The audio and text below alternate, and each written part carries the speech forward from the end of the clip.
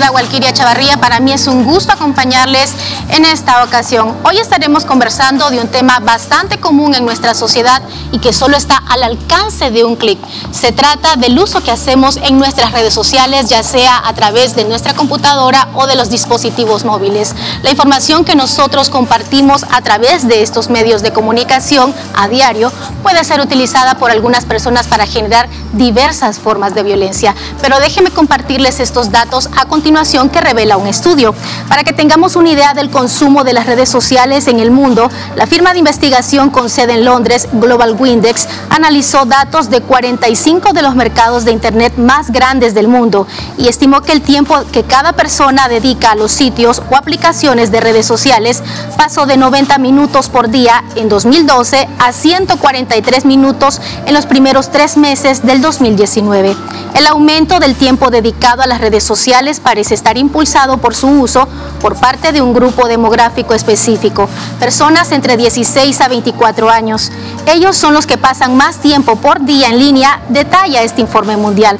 Pero también logra identificar 13 tipos de violencia en las redes sociales que son bastante comunes hoy en día, como el acceso no autorizado y control de acceso, control y manipulación de la información, suplantación y robo de identidad, monitoreo y acecho, expresiones discriminatorias, acoso, amenazas, difusión de información personal o íntima sin consentimiento, extorsión, desprestigio, abuso y explotación sexual relacionada con las tecnologías, afectaciones a canales de expresión y omisiones por parte de actores con el poder regulatorio.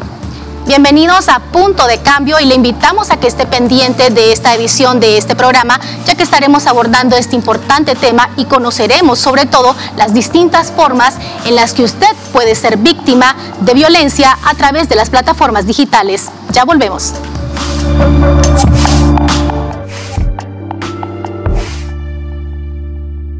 Datos de la Cámara Nicaragüense del Internet y de las Telecomunicaciones reveló en el año 2018 que al menos el 80% de la población en nuestro país utiliza el Internet para navegar en redes sociales, siendo Facebook y WhatsApp las principales plataformas utilizadas entre nuestra población.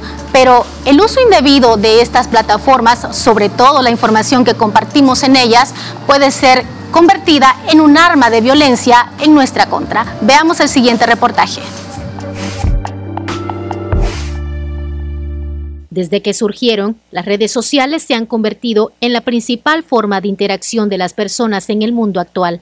Pero esta tecnología de la comunicación también ha sido utilizada como un arma para promover el odio y la violencia hacia otras personas. Se le conoce como el fenómeno haters. Este es un fenómeno que se ha extendido en diferentes sectores de la población, pero que principalmente está ahorita afectando a la población más vulnerable, que son los jóvenes, las mujeres. Hay diferentes manifestaciones desde el ciberbullying, el ciberacoso, el sexting, son diferentes formas en las que esta, este fenómeno puede representarse. Este fenómeno de los haters o los troles también son personas círculos o grupos que se dedican a desprestigiar, a acosar, a emitir juicios y comentarios negativos acerca de otras personas, otros grupos, otros individuos utilizando de las plataformas digitales. ¿Cuál es la característica de este tipo de acoso? Que hacen uso de estas plataformas por la sensación de anonimato que les da. El grooming es un tipo de violencia que es un adulto que ejerce violencia hacia un niño, lo que hace es engañarlo, eh, le hace pensar que tiene su misma edad o que más o menos es un igual y comienza a pedirle información confidencial al niño y el niño es inocente. De acuerdo a expertos, aunque cualquier persona sin importar la edad o sexo puede ser blanco de mensajes de odio y discriminación, existen grupos que son más vulnerables a sufrir esta forma de violencia. Los jóvenes, los niños, los adolescentes, las mujeres estamos siendo también víctimas de este tipo de acoso. Eh, las, poblaciones minorías, por ejemplo, los migrantes, como bien decían, eh, la población que pertenece a la diversidad sexual, todos estos pequeños grupos que cada vez tienen mucha más importancia, obviamente, dentro de nuestra sociedad, están siendo víctimas ya sea por individuos que de manera particular se dedican a desarrollar este tipo de comportamiento o por otros colectivos que los tienen como, como un target para realizar sus ataques. El impacto de esta forma de violencia no debe tenerse a menos, según los especialistas, pues lejos de ser inofensiva, puede generar desenlaces trágicos y el ciberacoso provoca daños, sobre todo daños emocionales que terminan en lesiones psicológicas y muchas veces en lesiones psicológicas que el ciudadano pues ya no tiene ni interés de vivir, pierde la razón de vivir porque se siente totalmente eh, desprotegido frente a una persona que, que, que, que, está, no sé, pues que tiene serios problemas, diría yo. En Nicaragua, este fenómeno ha tomado otra dimensión mucho más peligrosa por las graves amenazas contra ciudadanos que se publican en las redes sociales desde el año pasado, debido a la actual situación política del país. Hemos percibido que se ha agudizado. Eh, personas que se dedican a vigilar a otro, a ver los movimientos, a qué se dedica o qué hace la otra persona para luego publicarla con una manipulación extrema y a veces con amenaza. Y esto eh, nosotros hemos visto casos de esta naturaleza que hay personas que se han visto obligadas a abandonar el país porque le hacen señalamientos este, de, discriminación política, luego va el, señalamiento y, la amenaza. Entonces hay personas que nosotros, te reitero, tenemos conocimiento que se han tenido que ir del país para eh, dejar de ser, eh, o, que pare ese ensañamiento en su contra. Pues. Creo que en cualquier contexto es sumamente peligroso cuando se trata de individuos vulnerables, que son tan vulnerables, ¿no? Como los jóvenes, los adolescentes, los niños. Entonces, aquí el llamado también es a que cada uno de nosotros como usuarios tomemos la responsabilidad de dar un uso adecuado al Internet y a todas estas plataformas, ¿no? Cómo las utilizamos para que sean una vía de comunicación, un medio para desarrollar emprendimiento y que dejen de convertirse en el espacio para emitir comentarios negativos, para emitir algún tipo de acoso, para desarrollar este tipo de conducta. Uno de los grandes desafíos en Nicaragua es tener un marco jurídico específico para este tipo de delito. Existe una legislación donde nosotros podemos acusar a una persona que nos está violentando en medios digitales. En nuestro país no existe una legislación. Pero básicamente yo considero que lo más importante es la educación. Cuando hablamos de adolescentes, cuando hablamos de niños, es importante que los padres tengan un control del tipo de comunicación que los niños están compartiendo que tengan cuidado de que hay cosas que pueden y hay cosas que no deberían de compartir. Creo que las autoridades, digamos, la policía, el Ministerio Público, no se ha preocupado por este tipo de delitos. Ya deberían de, ya estas entidades deberían de hacer, estar haciendo algún tipo de gestión ante quienes hacen las leyes, que son los diputados, para que se haga algo al respecto. La policía que sí, que sabemos que lo tiene para seguimiento político, pero no tiene tecnología para rastrear a personas que sospechosas de estar haciendo algún tipo de, de, ciberacoso. Ante la falta de un marco jurídico específico que proteja a los usuarios en las redes sociales ante cualquier expresión de violencia en esas plataformas, los expertos sugieren tomar algunas recomendaciones. Imitar la información que compartimos en las redes sociales es vital para no ser objeto de este tipo de situaciones. También tener en cuenta todos los protocolos de seguridad que las redes sociales nos están garantizando. Por ejemplo, quienes pueden etiquetarnos en fotos, quienes pueden tener acceso a nuestra información personal y siempre estar en constante revisión de estar cumpliendo con estas políticas de privacidad. Es educación, es un tema de entender que hay todo lo que nosotros vamos generando dentro de los medios digitales es parte de nuestra reputación, ya sea un adulto, un niño o un adolescente. Todo ese contenido se convierte en la reputación de una marca y tenemos que ir cuidando la marca personal. Hacer entender que la marca personal es todo lo que se dice de nosotros.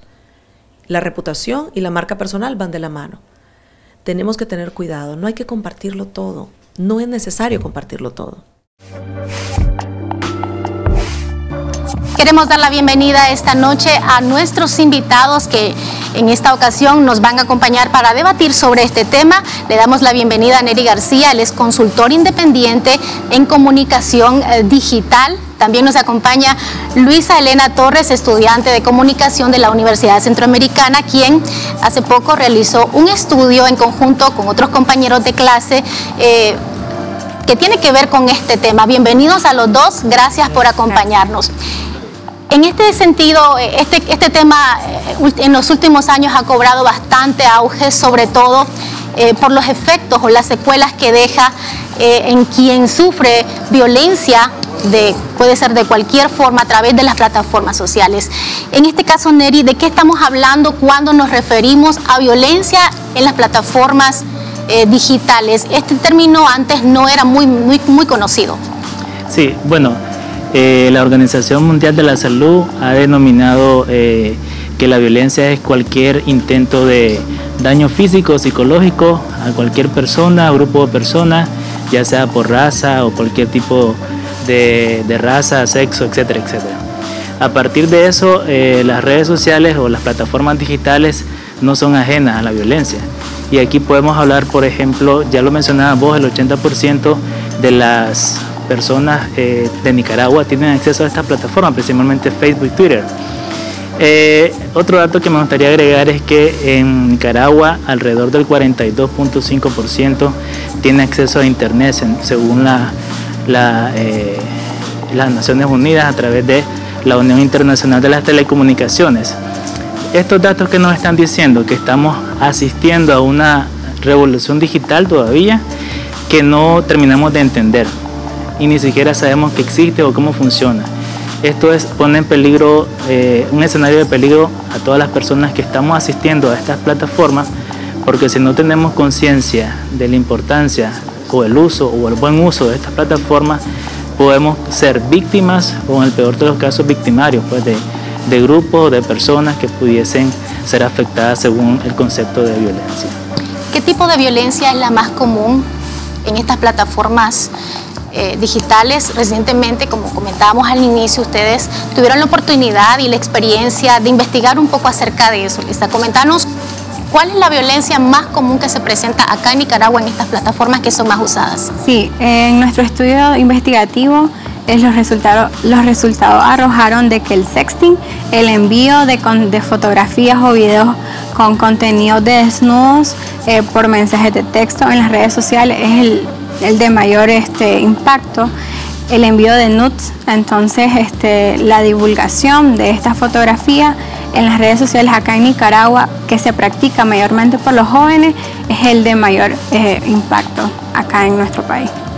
¿Por qué la gente sigue cayendo en esta trampa de, por ejemplo, lo que revelaba tu estudio, eh, que una de las, formas de violencia más frecuentes es el sexting. ¿Por qué la gente sigue cayendo, o los jóvenes sobre todo, en esta trampa de tomarse una foto con su cuerpo desnudo y enviarla sin saber las consecuencias, que esto va a tener? Bueno, una de las consecuencias principales es que desconocen que es un delito eh, la divulgación de, de estas fotografías en las redes sociales y también eh, que desconocen las medidas de seguridad que deben de tomar al tomarse esta fotografía. Porque es un comportamiento actual en los jóvenes que va a ser muy difícil de erradicar, pero si existen medidas de precaución para que ellos, pues, si lo van a seguir realizando, las cumplan, como proteger su rostro, proteger rasgos que identifiquen fácilmente su identidad y también utilizar plataformas digitales de mayor seguridad que indiquen si enviaron la fotografía y hacen las capturas de pantalla, ya saben qué persona está, está haciendo esta acción y a quién la están enviando, entonces inmediatamente uno se da cuenta quién divulgó su fotografía. ¿Quiénes son generalmente los que ejercen este tipo de violencia y por qué lo hacen? ¿Qué los motiva a hacer esto? Realmente responder a esa pregunta es bastante complicada porque habría que hacer un estudio serio a fondo. Sin embargo, creo que eh, es parte de la extensión de la realidad que existimos. Muchas personas creen que eh, el hecho de estar en las redes sociales se vuelve no real o ficticio, entre comillas. Sin embargo, sabemos que tiene consecuencias graves en, las personas y en su entorno. Por ejemplo, el hecho de que una chavala o chavalo envíe una fotografía eh, comprometedora y después que esta fotografía salga a luz a través de las redes sociales o a través de alguna plataforma social, seguramente va a tener muchas consecuencias no solo para él, sino también para su familia y su entorno. Eh, sería súper interesante saber conocer a mayor profundidad sobre qué, qué, motiva, pues quizás pueda ser la adrenalina, aquí ahorita estamos especulando, puede ser la adrenalina, puede ser la falta de noción de, lo que implica mandar no solo una fotografía, sino también contenido de acoso, eh, puede ser eh, acoso, eh, abuso escolar en, la escuela, por ejemplo, cuando le mandas a un niño o una niña que está gordo, que está feo, eso también tiene consecuencias bastante negativas, sobre todo en niñas, niños y adolescentes. y otro tipo de violencia, sobre todo también en este contexto en el que vivimos, eh, que puede afectar no solo las sensibilidades de un grupo, sino de otro. Creo que hace falta, quizás creo, seguramente lo vamos a hablar más adelante, esa, esa cultura de promover la armonía y lo que se promueve en las casas, que son los valores. Sin el ánimo de especular, entonces, por ejemplo, en el caso del sexting, podríamos decir o, especular, atrevernos así a especular, eh, que este tipo de práctica en contra de una persona al utilizar su imagen de desnudo podría ser utilizada por ejemplo, para generar dinero, porque hay gente que actualmente paga por ese tipo de imágenes. Podría ser, eh, ahí entramos a otro término que es el grooming, que es un adulto que utiliza eh, la violencia, la extorsión a través de las redes para obtener rédito, ya sea sexuales principalmente o de otro tipo. En este caso puede ser que hay alguna red de, explotación sexual comercial y que puede ser que a través de estas redes busque algún tipo de fotografía, primero se suplanta una identidad de un chavalo que se hace un adulto de 50, 60 años, 30, 40 años, que suplanta la identidad de un adolescente, busca ganarse la confianza de otra adolescente, consigue sus imágenes, sus fotos, etcétera, y después busca cómo extorsionarla, pues si es ya sea con dinero, con favores sexuales, etcétera, etcétera. Entonces, Creo que eh, existen muchas aristas en el campo digital que pueden tomarse. Sin embargo, insisto en el tema de la extensión a la realidad. Creo que es importante considerar un poco el contexto del desarrollo de la persona, de los valores que se le han inculcado y cómo esto podría eh, impactar positiva o negativamente en su futuro, no solo eh, no virtual, sino también virtual. ¿Quiénes son los grupos más vulnerables a ser víctimas de este tipo de violencia? Se habla mucho de los jóvenes, pero eh, los demás, los que somos adultos, estamos exentos? Sí, eh, la mayoría de los casos que se han dado acá en el país son jóvenes. No podemos ignorar que también personas adultas eh, también realizan esta acción que de enviar fotografía. Pero en su mayoría, en, nuestro, en nuestra investigación, los resultados arrojaron que son jóvenes, adolescentes, que envían este tipo de contenidos a sus parejas por presión. Hicimos, hicimos encuestas eh, hicimos encuestas, en esas encuestas los resultados eh, arrojaron de que la mayoría de los adolescentes y jóvenes que envían fotografías lo hacen por presión de su pareja, por gusto o placer, como mencionábamos anteriormente, y también por eh, porque encajar en los grupos sociales, porque es una moda, porque si él la envió, yo también lo puedo enviar. Entonces, en su mayoría son jóvenes. Ahora, también las plataformas digitales están siendo utilizadas actualmente eh, para ejercer violencia contra ciertos grupos específicos para discriminación, para discriminar, ya sea por su etnia, por su perfil religioso. ¿En las plataformas también se están convirtiendo entonces en espacios de discriminación hacia estos grupos? Sí, Insisto con el tema de la extensión de la realidad. Eso sucede también en espacios físicos, eh, en lugares específicos que no necesariamente tienen acceso a la web o que no están en la web. Se trasciende a la web y ese es un reflejo, es como un espejo. las redes sociales, las plataformas sociales son un espejo de la realidad a la que asistimos y ahí está muy clara. Una ventaja, si pudiese destacar una ventaja del fenómeno que está ocurriendo en términos de violencia, es que todo puede ser medible. Y cuando todo puede ser medible, podemos medir comportamiento, podemos medir actitudes, podemos medir los valores. Y esto puede ayudar a fortalecer una estrategia, ya sea de comunicación o una campaña que trate de, evitar que esto siga sucediendo y poder inyectar, por decirlo de alguna forma, el tema, eh, el tema de los valores. Efectivamente, el tema de la violencia es algo que vivimos a diario y Nicaragua no es la excepción, eso ocurre en cualquier parte del país, en cualquier parte del mundo, perdón, y que eh, debemos de tomar cartas al asunto como, como en efecto creo que en Nicaragua lo estamos haciendo de alguna forma. Hace algunos años ha habido algunas iniciativas para tratar de promover el tema del fin, el fin a la violencia, eh, pero eh, todavía hace falta mayor esfuerzo. Bueno, la conversación está bastante interesante, pero déjenme hacer o mandar a una pausa comercial. Pero antes, al volver tendremos, eh, conversaremos mucho más, por supuesto, de este tema. Pero ¿sabía usted lo que es propalación? ¿Ha escuchado alguna vez hablar o mencionar este término? Pues déjenme contarles que esta palabra o este término tiene mucho que ver con el tema, con el tema que estamos discutiendo en esta noche. Más detalles al volver. Gracias por continuar con nosotros. Seguimos conversando con nuestros invitados y a esta discusión se ha sumado ahora don Carlos Cajina. Él es experto en Derecho. Bienvenido, don Carlos. Gracias, por acompañarnos. Don Carlos, tal vez eh, nos despeja dudas e inquietudes en cuanto a lo que es la propalación y por qué tiene que ver con el tema que discutimos el día de hoy. Sí, bueno, antes de comenzar en el, en el análisis jurídico, agradecerles por la invitación. Efectivamente que es un tema bastante importante y que está punteando, diría yo, en la sociedad, más que todo en la juventud, porque este es un delito que, el delito de propalación es algo que se está cometiendo, más que todo en la, en, la juventud, en los adolescentes que van prácticamente hasta desde los 10 años de edad o menos, inclusive hasta las personas mayores o inclusive que por ignorancia de la misma ley cometen el delito sin saber lo que están haciendo en realidad.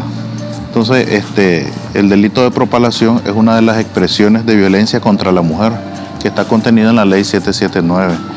A, esto me refiero que la norma jurídica establece que la violencia hacia la mujer en cualquiera de sus formas y ámbitos debe ser considerada una manifestación de discriminación y desigualdad contra el poder este, con, con respecto al hombre. En el sentido, esto lo esto lo aborda el artículo 8 de la ley 779 y entrando o ampliando al delito de propalación, eh, la ley nos establece con claridad meridiana que quien hallándose legítimamente en posesión de una comunicación, documentos, grabaciones, videos, audios o imágenes y los haga públicos sin la debida autorización, eh, aunque le hayan sido dirigidas, este, será penado con una pena de prisión de dos a cuatro años si esto lleva, esto lo dice el artículo 195, si nos vamos a, un poco más atrás, a lo que nos dice el artículo 175, si son con fines de explotación sexual, o sea, que, eh, venga una persona y, comercialice estas imágenes,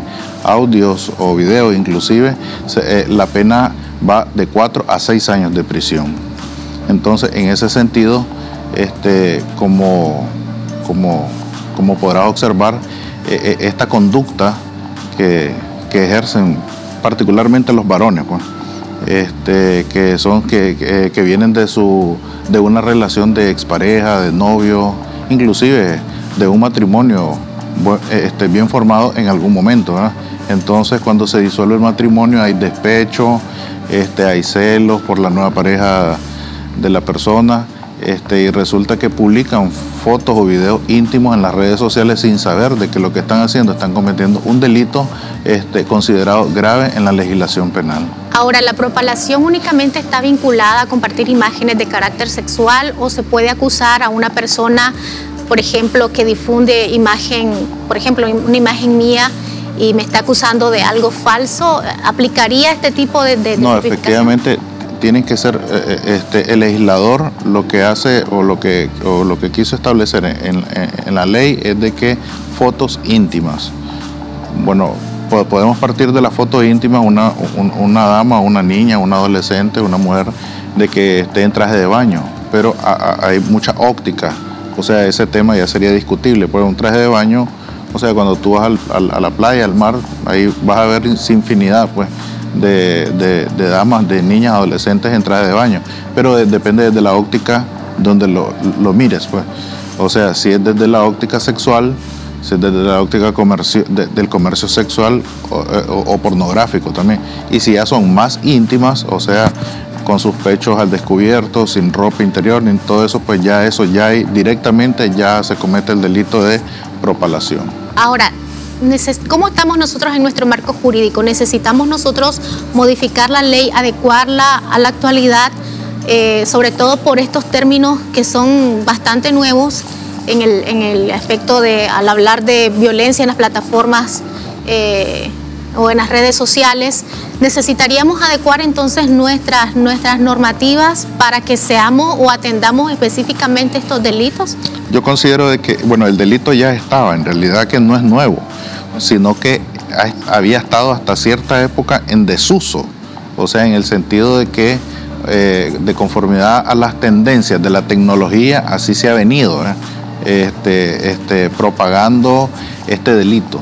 Pero el delito ya estaba en realidad eh, eh, eh, en el Código Penal. Fue reformado este, con la Ley 779 y fue incluido en, la, en la Ley 779. Pero como, o sea, como por decir así, en la práctica se toma como natural inclusive a veces de que un joven o, personas adultos inclusive compartan fotos de sus amigas, examigas, exnovias, exnovias, inclusive este, este, este, en ropa interior o, más allá hasta sin ropa interior. Entonces, pero más no se sabe que en la ignorancia de la ley se está cometiendo un delito y bastante grave en realidad. ¿Quiénes entonces, son entonces no es, no es por decirlo así, de que, de que el delito es nuevo, sino ni que se tiene que agravar más la pena sino yo considero de que se tiene que educar a la sociedad educar a la sociedad. Y yo creo que la educación de, la violencia contra la mujer viene desde el hogar, como la primera escuela, ¿verdad?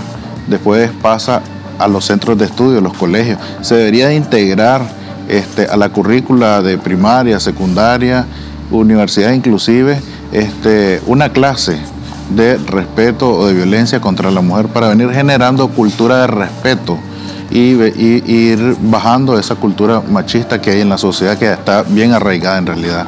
Ahora, ¿a partir de qué edad una persona es sujeto de proceso penal y qué penas, a qué penas estaría expuesta? Sí, efectivamente, de que el Código de Procedimiento Penal y el, Código de la Niñez y la Adolescencia establecen de que este, la persona que es procesable tiene que tener cumplido los 13 años de edad, sin perjuicio dependiendo del delito, ¿verdad? De, eh, que, vaya a conocer el caso, que esto no pasaría al juez común, sino que lo tramitaría el juez penal de adolescentes. ¿Me explico? Entonces, las penas van eh, de 2 a 4 años por el delito de propalación. Si son de, con uso de explotación sexual con fines comerciales, van de 4 a 6 años de prisión. Se agrava la pena en este sentido. Ahora, este término, eh, ¿consideraron ustedes incluirlo dentro del estudio que ustedes realizaron? Claro que sí, nosotros incluimos lo que es este el tema de la ley de la propalación. Eh, en, las encuestas que realizamos eh, surgió de que el, el 68% de los jóvenes encuestados desconoce por completo que existe esta ley. Entonces, por ende, si se ven afectados, no hacen nada al respecto, lo dejan ahí pero esta ley, como decía el abogado, no es algo nuevo, no es algo actual, sino que ya esto tiene tiempo de existir, pero se desconoce por completo su existencia. Ahora, las empresas que son, que manejan estas plataformas, por ejemplo, Twitter, Facebook, Instagram, ¿qué responsabilidad penal tienen ante este tipo de delitos? Ellos tienen eh, sus condiciones cuando uno abre una cuenta. ¿Qué responsabilidad tienen con sus usuarios? La responsabilidad penal no te sabría decir, pero sí hay una responsabilidad, una normativa que ellos asumen como propia y de hecho han hecho desde hace algunos años una serie de, configuraciones o, cambios a su política de privacidad y eh, se ha venido modificando. Eh, sin embargo, eh, habría que hacer hincapié que mucha de la responsabilidad más bien hay que trasladársela al usuario. Es el usuario quien debería tener la noción de lo, de lo que está haciendo. Pues entonces yo también insisto con lo que dice el abogado y con lo que dice mi colega Luisa, que es importante el tema de la educación.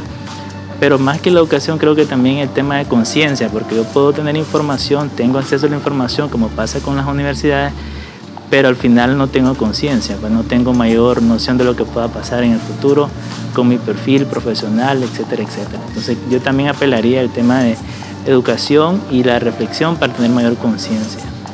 Sí, déjame preguntarte algo más, Neri. Eh, entiendo que el año pasado, y corregime si es falso, eh, tengo entendido que en el caso de Twitter se estuvo dando mucho lo que eran mensajes misógenos en contra de las mujeres. Las feministas en muchos países protestaron en contra de esto y eh, de cierta manera generaron presión a esta red social para que de cierta forma regular estos mensajes porque estaban eh, afectando ya la vida de muchas mujeres. ¿Es cierto esto? Sí, de alguna forma sí, porque eh, no solo era presión de parte del grupo feminista, sino también de otros grupos vulnerables. Pues entonces, eh, también, según lo que se publicaron los medios en ese momento, esto ayudó a que Twitter y otras plataformas pudiesen ir regulando y mejorando mejor su política. Sin embargo, más allá de eso, vuelvo a insistir en que la mayor responsabilidad es del usuario, no necesariamente de la plataforma. Bueno, vamos a hacer una pausa comercial más y al volver seguiremos eh, conversando con nuestros invitados eh, para hacer las últimas reflexiones sobre este tema tan importante. Ya volvemos.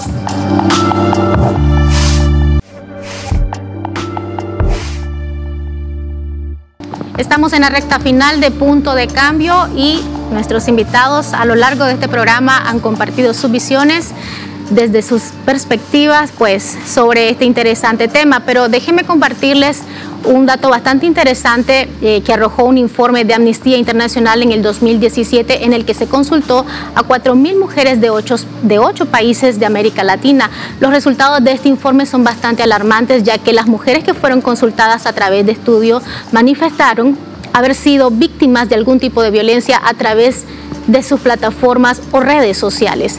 En este caso, don Carlos, ¿qué hacer cuando somos víctimas de violencia a través de nuestra cuenta de Facebook, de Twitter? ¿De qué manera nos ampara la ley? Sí, efectivamente, eh, la legislación ya está dada y la intención del legislador en esa época era con la reforma, con la aprobación de la ley 779, incluir este tipo penal como es la, este, el delito de propalación contenido en el artículo 195 de esta norma legal, eh, el derecho de acusar le asiste a la, dama o a la mujer en este caso, o a la madre de la menor inclusive. Pues. La primera instancia es poner la formal acusación ante las oficinas del Ministerio Público. Lo lamentable de, hoy por hoy, pues de que ya las, defensorías de la mujer eh, que, estaban en, las distintas delegaciones o distritos de policía, pues ya no existen. Entonces lo más recomendable es interponer la denuncia ante el Ministerio Público y llevar las pruebas de rigor, que en este caso pues serían los videos o los audios o las imágenes que se han compartido en las redes sociales.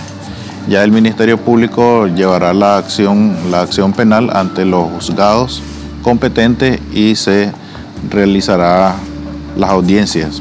En este sentido, pues, el juez tiene la potestad de ordenarle al acusado retire todas las imágenes o audios que están, que están, este, que han sido compartidas.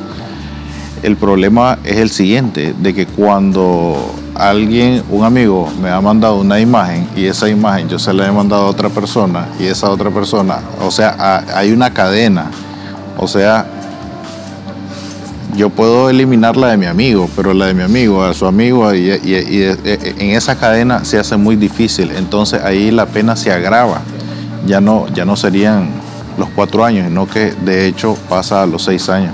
Cuando ya las imágenes o audios o documentos que no podría compartir porque contienen, eh, tienen contenido sexual, este, han sido divulgadas en las redes sociales y ya han salido de control en este sentido.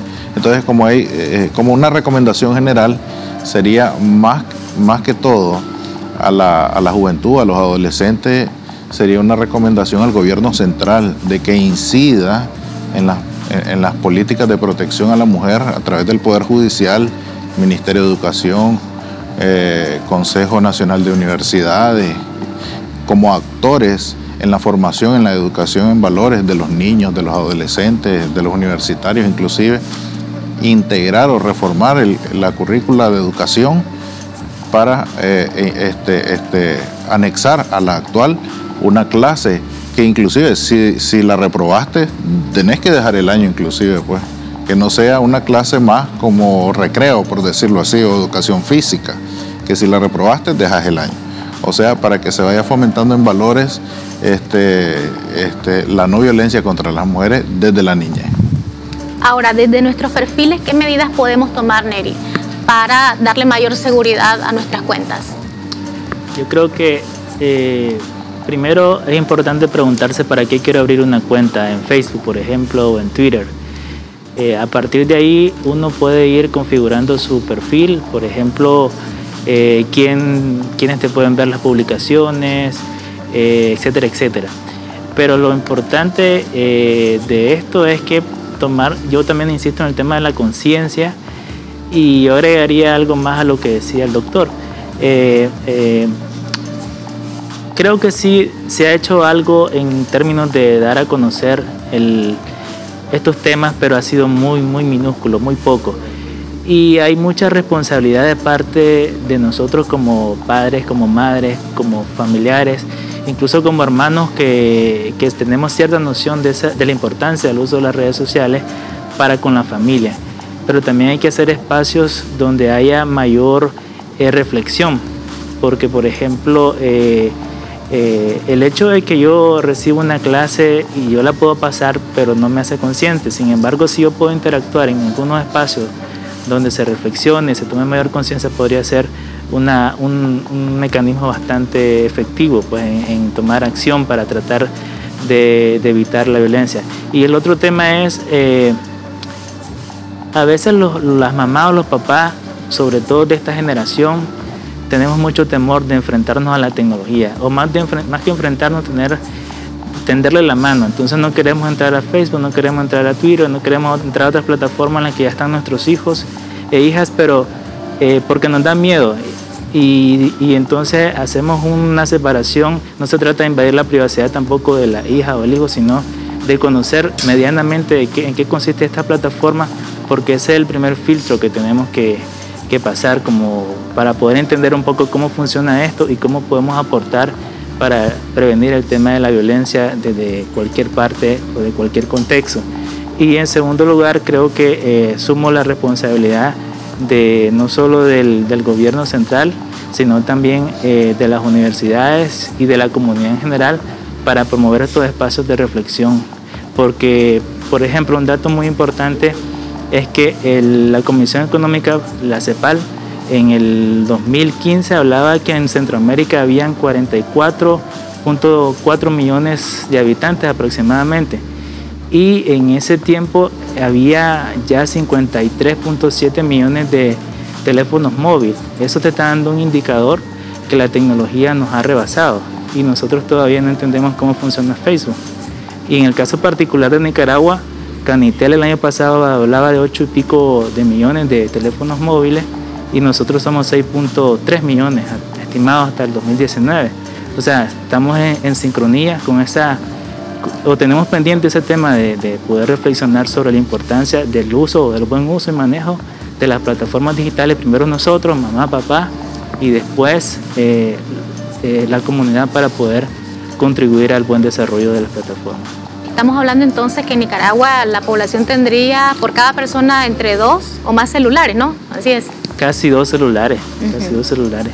Y eso es, eh, yo no sé si sería alarmante, más bien sería un llamado a la acción para reflexionar qué significa eso, qué significa tener más celulares o qué significa tener teléfono inteligente, para qué sirve el teléfono inteligente, cómo funciona, cómo se interactúa y sobre todo cómo nos puede aportar a nosotros como individuos al buen desarrollo de nuestras competencias eh, y agregarle ese, ese, ese, ese ingrediente del tema de los valores que muy poco se habla.